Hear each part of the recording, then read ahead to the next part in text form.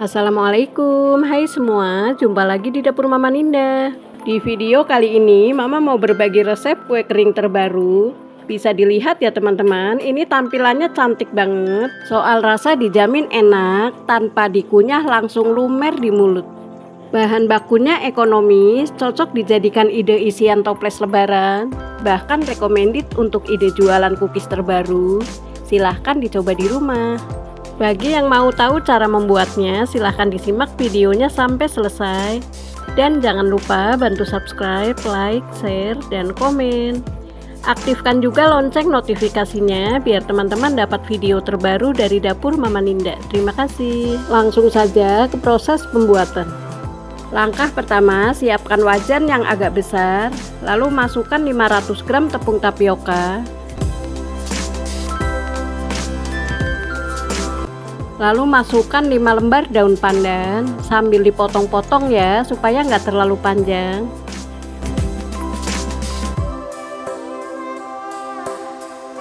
Nah ini siap disangrai, nyalakan kompor dengan api sedang cenderung kecil. Sambil terus diaduk ya sampai tepung terasa ringan dan daun pandan kering.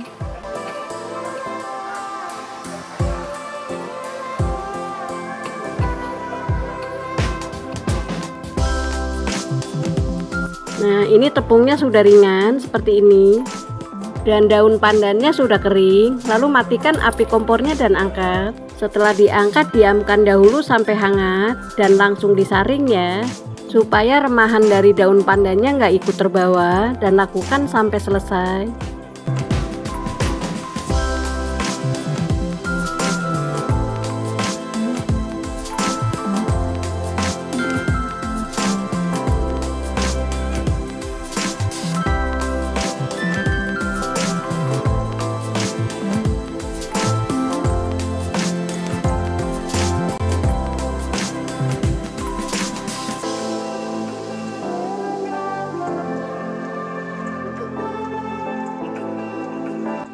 Setelah selesai sisihkan terlebih dahulu.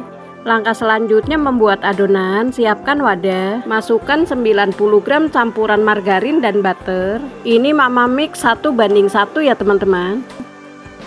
Lalu masukkan 150 gram gula halus, sambil diayak ya supaya nggak ada gumpalan.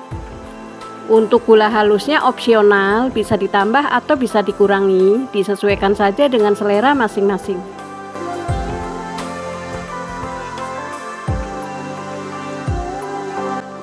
Selanjutnya aduk hingga tercampur merata dan sampai teksturnya lembut.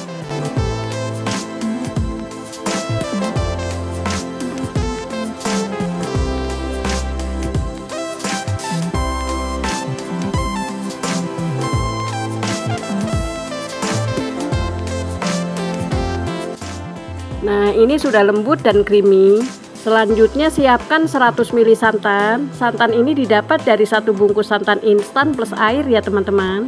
Tambahkan pasta stroberi secukupnya. Lalu aduk sampai tercampur rata.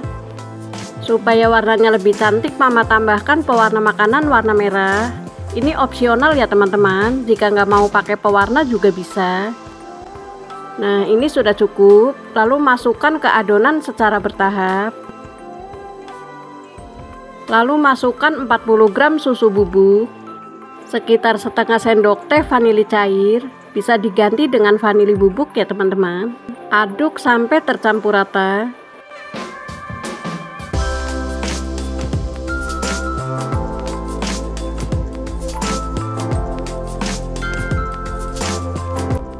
Selanjutnya masukkan tepung tapioka yang sudah disangrai, dimasukkan juga secara bertahap ya teman-teman. Masukkan di selang-seling tepung dan cairan santan yang berwarna merah. Lalu aduk sampai tercampur rata dan lakukan sampai santan habis.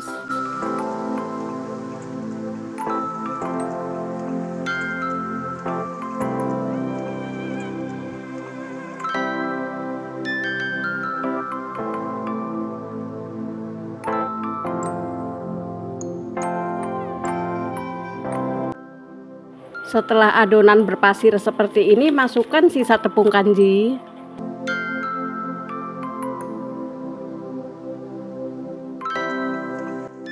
Dan ini akan mama aduk menggunakan tangan supaya lebih mudah. Aduk sampai semua bahan tercampur dengan merata. Cara mengaduknya diawur-awur saja seperti ini ya teman-teman. Jika ada yang bergerindil atau menggumpal, bisa diurekan dan lakukan sampai selesai.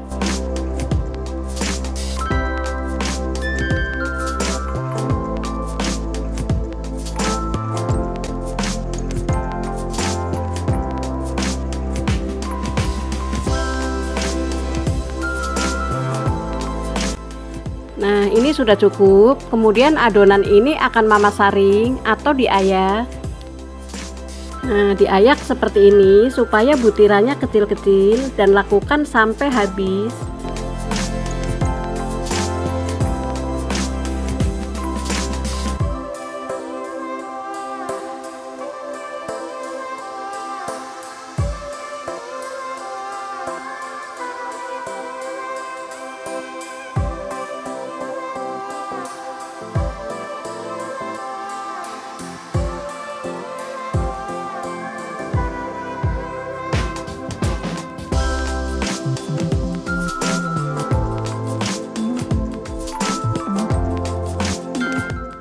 Nah ini sudah selesai. Teksturnya jadi lembut dan butirannya kecil-kecil seperti ini. Selanjutnya siapkan cetakan kue sagu atau kue satu. Cetakan ini mama beli di online. Nanti linknya mama taruh di kolom deskripsi. Masukkan adonan sambil ditekan-tekan ya supaya padat. Jadi saat dikeluarkan atau diketok nggak ambiar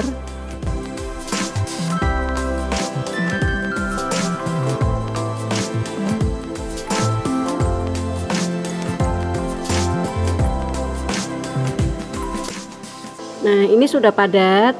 Lalu sisir menggunakan spatula atau skipper Sampai rata seperti ini ya teman-teman. Lalu ketok. Nah hasilnya mulus dan gak ambiar.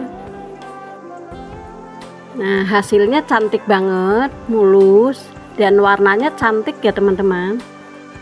Lalu tata di loyang dan loyangnya tanpa dioles apa pun ya dan lakukan hal yang sama sampai selesai.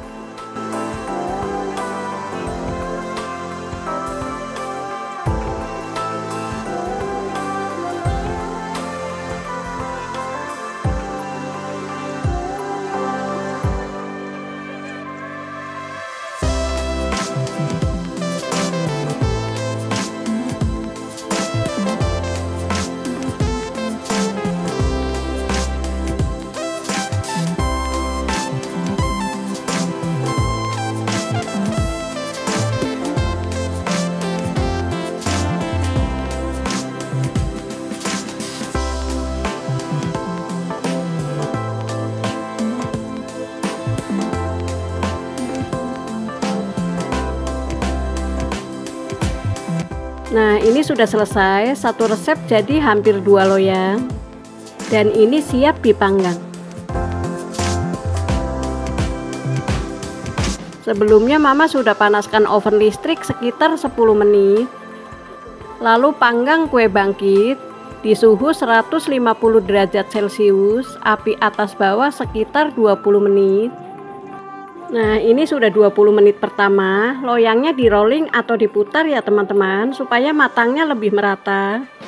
Lanjut panggang kembali sekitar 15 menit atau disesuaikan saja dengan oven masing-masing. Jadi total pemanggangan 35 menit ya teman-teman. Nah ini total pemanggangan sudah 35 menit. Aromanya harum banget kemudian angkat. Tuh warnanya cantik banget ya Panggang kembali sisa adonan dan lakukan hal yang sama sampai selesai. Nah, ini sudah selesai, lalu diamkan dahulu sampai dingin, baru dimasukkan ke dalam toples.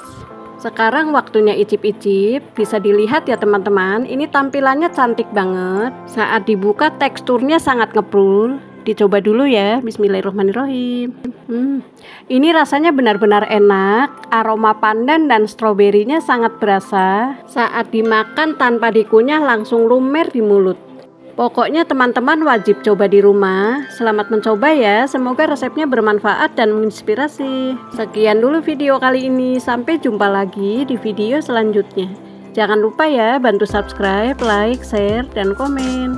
Buat teman-teman yang sudah subscribe, Mama ucapkan terima kasih banyak. Tetap semangat berbagi. Terima kasih. Wassalamualaikum.